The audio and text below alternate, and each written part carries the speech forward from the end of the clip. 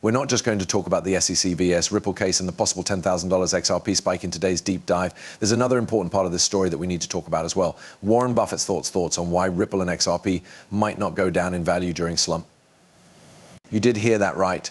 And the famous investor has spoken out. His view is very important for anyone keeping an eye on the crypto market right now when the economy is unsure. Hello, CoinGraph Market family. This is your reliable source for all things XRP. Before we go, please do me a favor and hit the like button, subscribe, and notifications to become a part of our group. Also, once we reach 5,000 followers, we'll be giving away a huge amount of XRP. You can put your hat in the ring in three easy steps, so make sure you do them all. Put the word CoinGraph Market in the comments to make sure you get a spot. Imagine that XRP hit a huge $10,000. It may sound like a big guess, but XRP is supposed to handle a lot of big financial transactions, so it's not impossible the XRP ledger could have $1.2 quadrillion dollars flowing through it, which could send its value through the roof to $10,000. But this huge rise depends on one very important thing, the SEC VS, Ripple case being settled. As of right now, institutional buyers see XRP as a security. Things are about to change dramatically. A deal between Ripple and the SEC is almost certain to happen. Two ideas have already been put forward.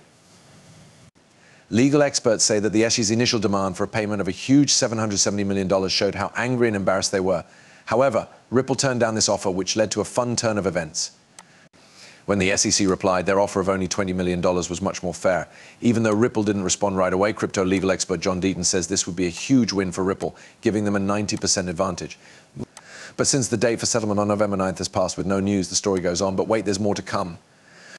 New information suggests that the SEC may be working on an even better deal for Ripple, which should be made public any day now. Today's video goes into detail about the possible $10,000 price for XRP.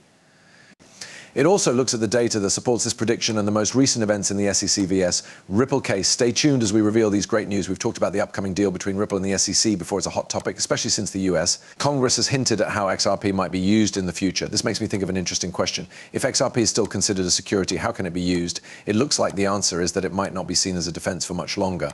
Brad, Ripple CEO, has said that the company has been offered out of court settlements but is still waiting for a better deal. Because of this, lawyers who support XRP think that Ripple's deal amount with the SEC might go down.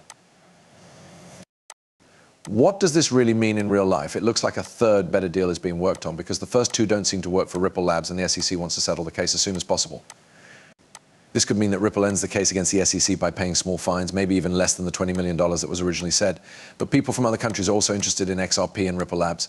And countries around the world, like Dubai, are also on board. Recently, Dubai's financial officials gave the go ahead for XRP to be used as a payment method all over the country.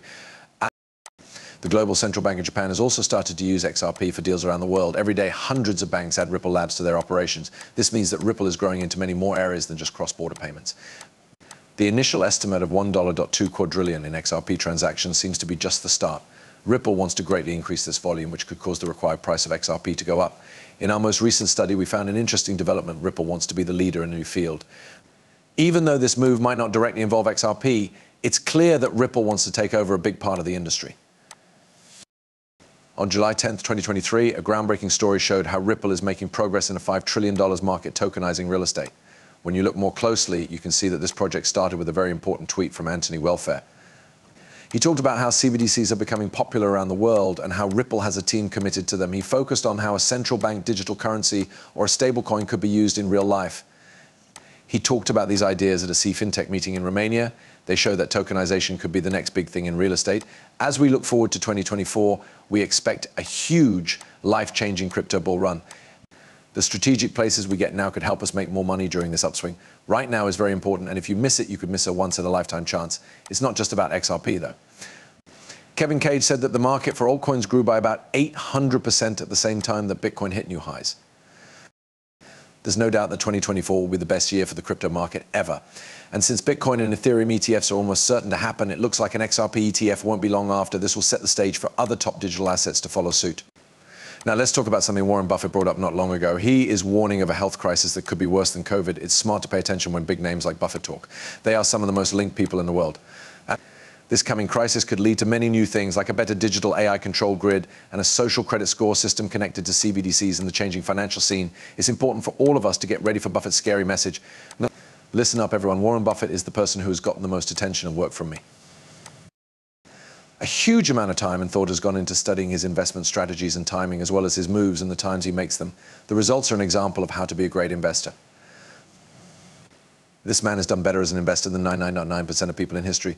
This is something I'm bringing up because Buffett's actions helped me figure out how reliable XRP is during rough times like wars and recessions. I'm sure that XRP can be a life improving hedge during these tough times. If you pay close attention to what Buffett does, you might end up becoming a billionaire by accident. Let's look at what Berkshire Hathaway did most recently on June 19, 2023.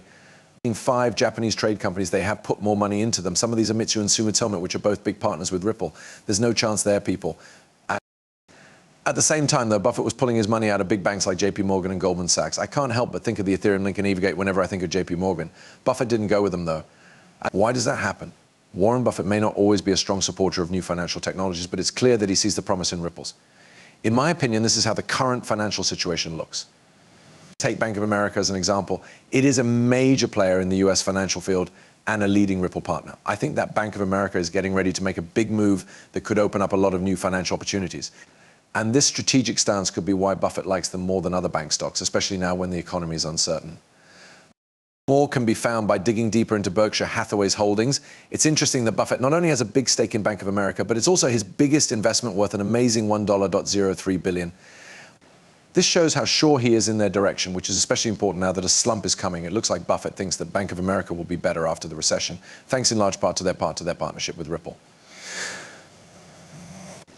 Moving on to ISO 20022, there is an interesting development regarding HSBC. A short paper shows that HSBC and its partners will accept changes to digital assets in 2023.